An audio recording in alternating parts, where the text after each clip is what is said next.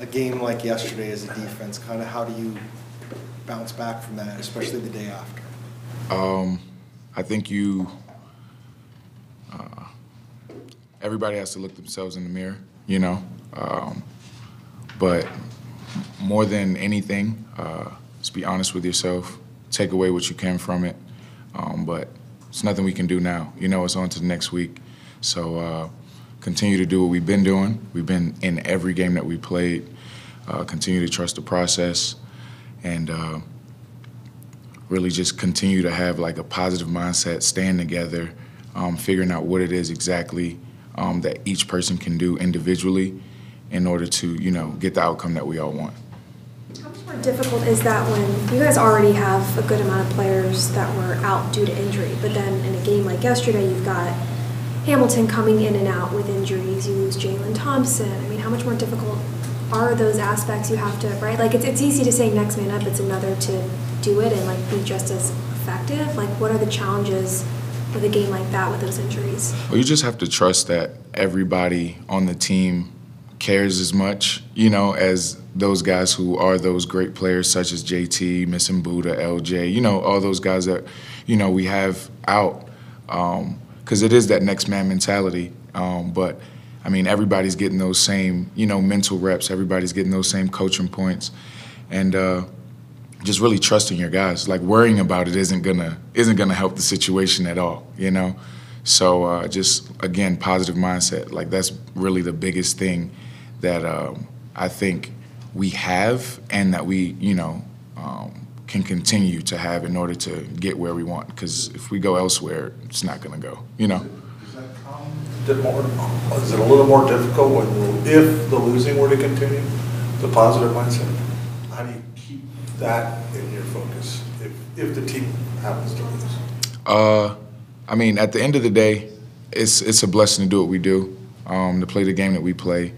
Um, nobody likes losing. That's why we're all here. We're competitors, you know.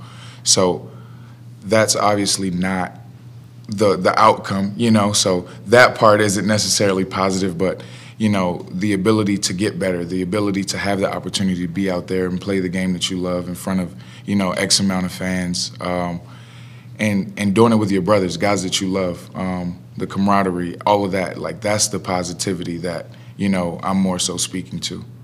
Were you out on the field for the goal line stand? I was. So what what were you guys discussing? What were you seeing? You know, the third and one stop, the fourth and one stop, and you know, Kayvon's running I don't think I can give you the verbatim things that we were saying, but it was more so, you know, just like one one play at a time, one play at a time, one day at a time, one. You know, that's kind of you know that's our mindset here. That's our attitude. So it was just one more time, like don't let them in, don't let them in, and. Um, like I said, that's not exactly what was being said out there. Um, and, you know, to be quite honest, I might black out from time to time. So I don't even remember exactly what was said, but I can tell you it wasn't PG 13. when you have a, a, sequence like that, an emotional sequence, and the crowd gets behind you, and then a couple plays later, obviously it goes the other way uh, with Josh's interception. How, how, do you kind of rally your mind around that? You, you feel like you, you just did this great thing to push you in the right direction, and it kind of gets turned. Let's just go do it again. Like I've, i learned early in my career from uh, a former defensive coordinator that it's just more TV time for us. You know what I mean? It's just it's just another chance for us to go out on the field and you know put on a show. So that's we don't care where you put the ball down. We're gonna play we're gonna play defense. We're gonna hit. We're gonna run, and that's what we do. So that's really the mindset as we take the field at that point.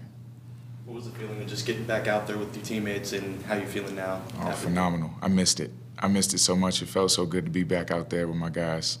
Um, just you know, like I said, it's a blessing, and you you realize very quickly how quickly it can be taken away from you. So, um, just appreciative um, of you know the training staff and everybody allowing me to get back, and my guys having my back, and you know, just happy to be out there. I was going to ask, like, you've been waiting so long to get this opportunity, and then to get hurt in game one, that must have played with your mind a little. Went down a rabbit hole, but had to come back out of it. Um, I know it's a lot of guys that look up to me, uh, you know, around this building and you know, just overall bad for morale. You know, if I'm sulking, like it's it's not about me. I'm trying to help the next guy, whoever's about to fill my shoes, which happened to be KB, and he played phenomenally for X amount of weeks. So, um, obviously, you know, battle with that. You know, it's it's okay to sit in that that night, you know, but when you come into the building the next day, like I said, like that positivity mindset, that you know, just being a light for everybody else around me. Okay, I can't impact the team on the field, so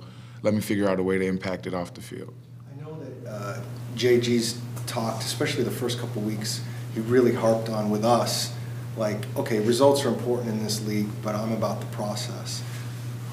And I go back to what you were saying, like the law, you don't want the losses, your, your, your competitors and all that, but it feels like that message from JG can really help a team that is trying to grow together, and maybe you won't see the results you want week to week, but it's about the process of getting there. Yeah. So Nick actually, Nick Rallis, our DC, just gave us a like a little quote he took from someone else and says that when a flower is growing, the ro- the roots grow first.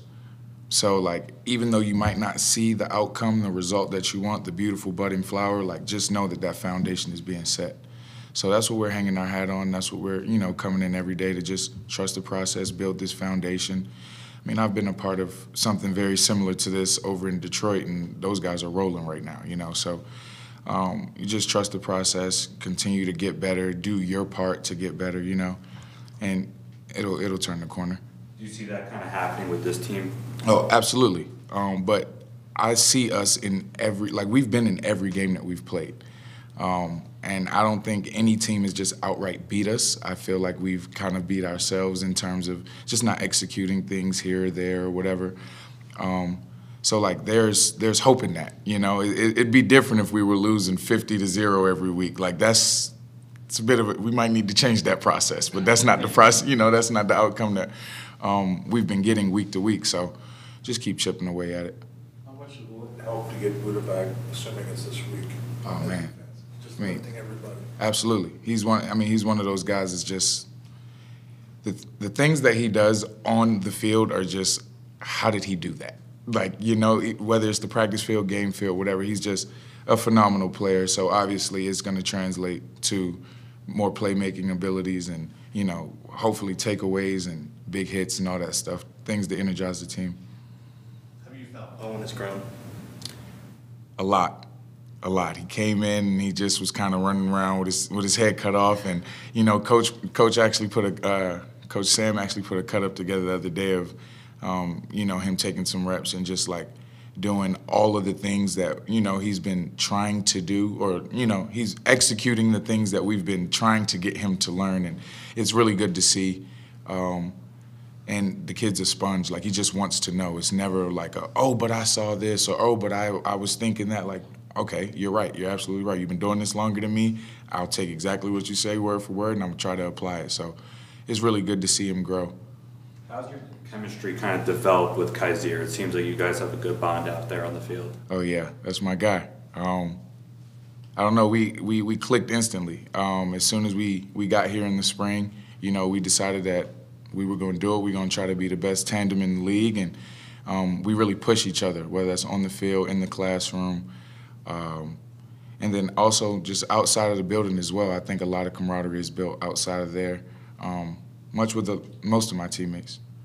Is there a difference of maybe a little more excitement when there's so many different packages sometimes there's two D linemen or three or one linebacker or multiple? I mean, does that make it a little more fun that you guys are constantly changing things on the field rather than having a set you know formation you're doing. Yeah, absolutely, because it kind of puts them on there. Like it makes them think a little bit. You know, like on defense, you're kind of reacting to everything that the offense is doing, but it's like, nope, wait, we got a card too. You know, it's like our own reverse card. You know, it's like nope, nope, right back at you. So it's pretty cool some of the things that we do schematically. Um, not to necessarily get into any of the de- not too many of the details, but it's really cool being able to have different guys fill different roles and them trying to you know, maximize the amount of people who can help us on defense with those packages. Are there times where you can really tell, like, man, we really got in their head that for that play? Oh, absolutely. You can tell quarterback might get flustered, or you know, running back doesn't know which way to block, or you know, center looks, you know, everything play clock drop, dri drips down. Is you can always tell. You can tell when they get flustered.